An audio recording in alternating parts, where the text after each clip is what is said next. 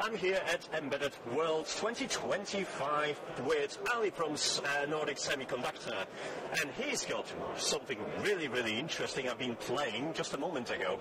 Could you tell us how does it work and what it does? Yeah, so this is channel sounding running on uh, Bluetooth Low Energy, and it's running on our 54L uh, 15 development kit. It's basically providing you with secure, accurate distance measurement through Bluetooth Low Energy.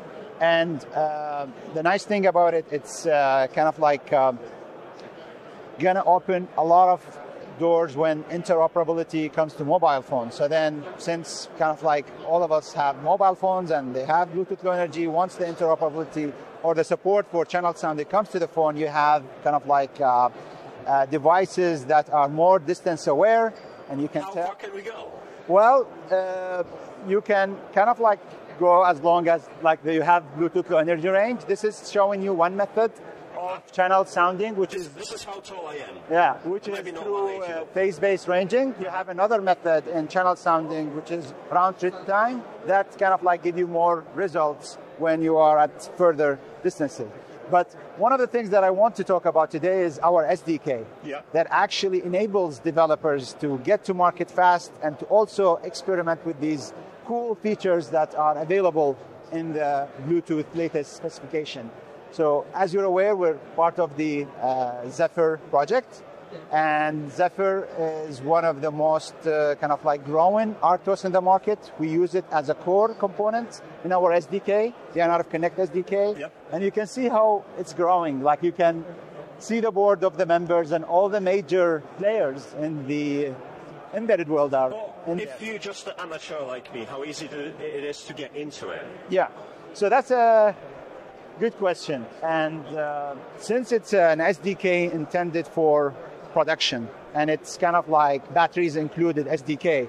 Now, what do I mean by batteries included? Basically, everything that the developer will need will find it in the SDK.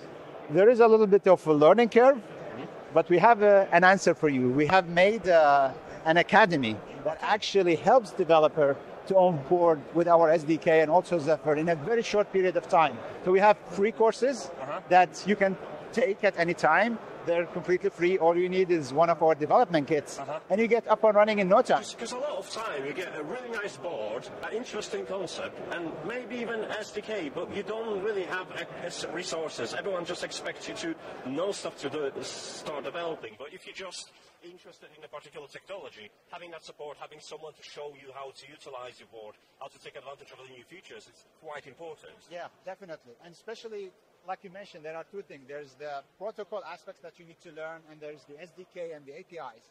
So what we did at the academy is like we brought these two together in one place, and it's all guided with hands-on exercises.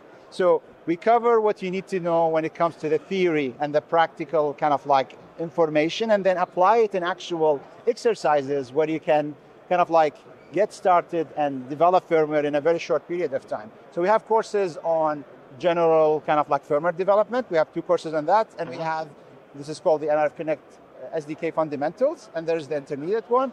And we also have uh, protocol specific courses. Let's say you're interested in Bluetooth Low Energy, there's a dedicated course for that. And I wanted, if I wanted to find this, where, where I would go to find this? Just go to nordicsemi.com and there is the academy, or just search uh, Nordic Developer Academy on Google. You'll find it there. All right, cool. That's that's pretty cool. Uh, I'm looking forward to actually playing with this because Yeah. uh, there's some impressive things that you could do in this uh, whole Yeah. automation space. Absolutely. That's, that's pretty cool. Absolutely. Awesome. Thanks so much. I've been speaking to Ali at Embedded World, uh, and uh, click uh, into the description for the link for more details about it. So I'll see you in the next one.